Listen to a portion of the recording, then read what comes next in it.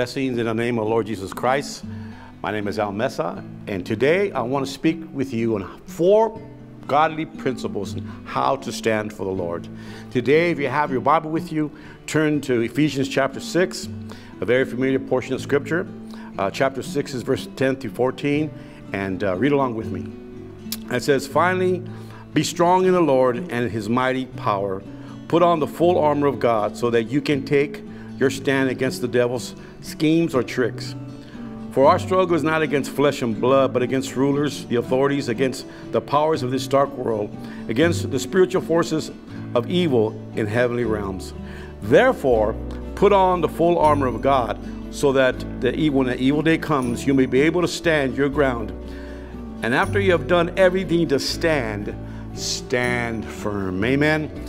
Paul there mentions the word stand at least four different times from verses 10 to 14. And usually, when somebody in the Bible uh, repeats himself over and over again, it's not accidental, but it's intentional. And usually, it's to try to drive home a point.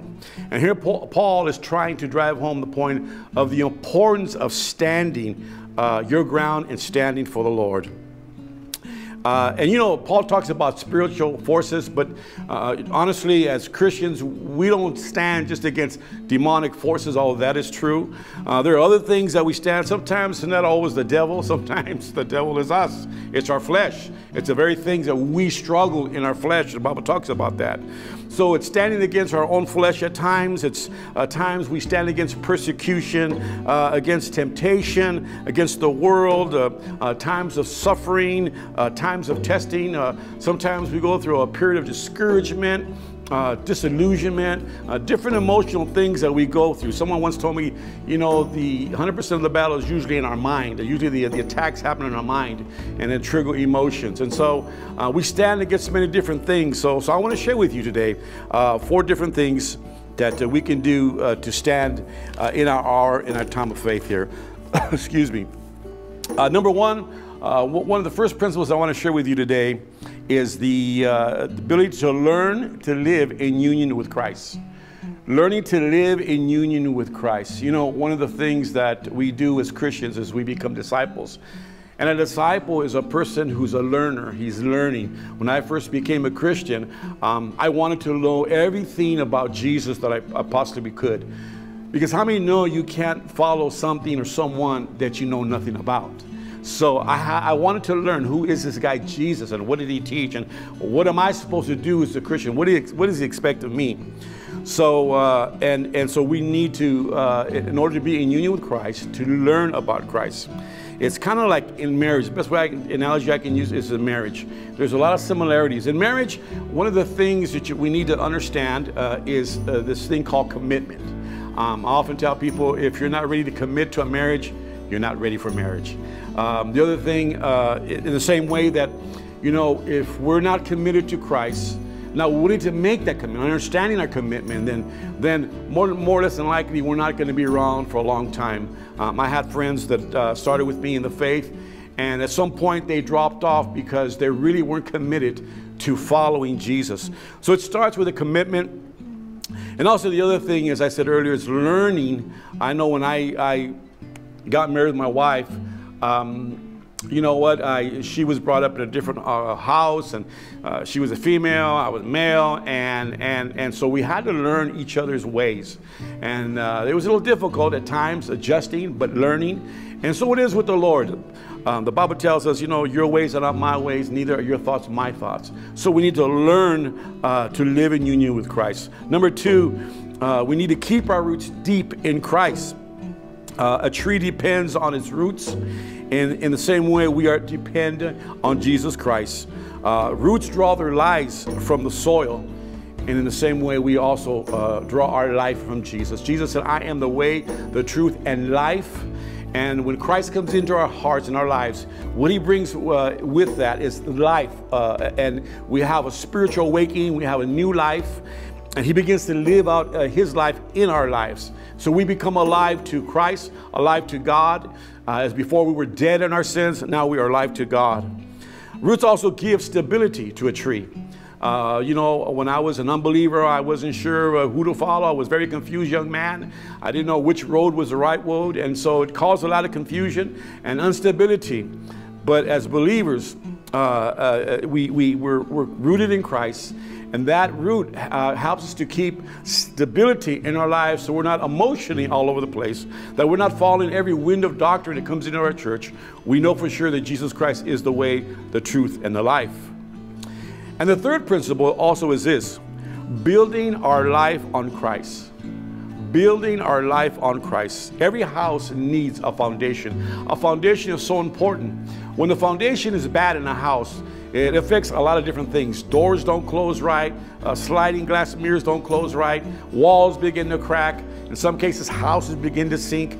Uh, it becomes a real problem. So, a foundation has to be strong in order to maintain that house. The Bible talks a lot about foundations. In 1 Corinthians chapter 3, 11, Paul said this. He said, No other foundation other than Jesus can be laid. And Paul uh, was uh, uh, dealing a time where people were coming in with doctrines of, you know, keeping the law and circumcisions and kosher food and different things that really did not have to do anything with salvation. And he wanted to make sure that everyone understood it's Jesus Christ, and that's the foundation, and no other foundation can be laid other than that. Everything else becomes external.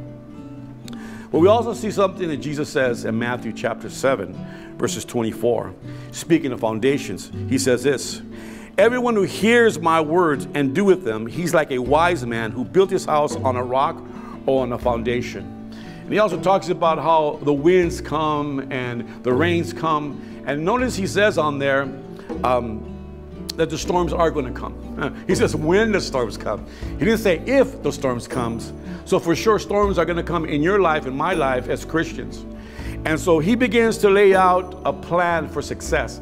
Uh, not that it would keep us from the storms, but it would keep us through the storms.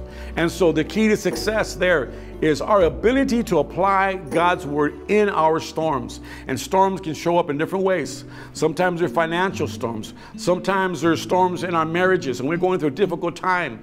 Uh, sometimes it can be a storm at work and our work now is maybe in danger, um, uh, health issues. There's a lot of different things that can happen. And right now, we're definitely, uh, we're going through a stormy time, storms all around us. And yet I see on the horizon other storms that, that are going to come our way.